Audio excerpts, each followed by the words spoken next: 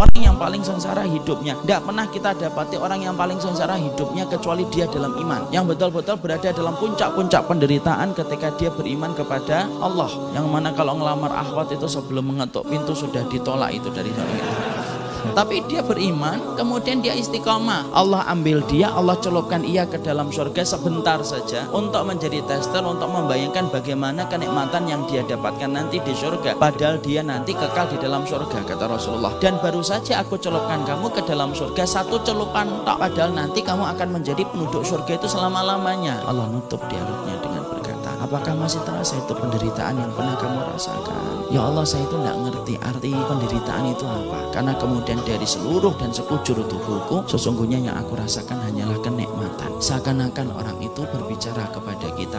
Satu celupan surga itu menghilangkan jutaan penderitaan Yang pernah kita rasakan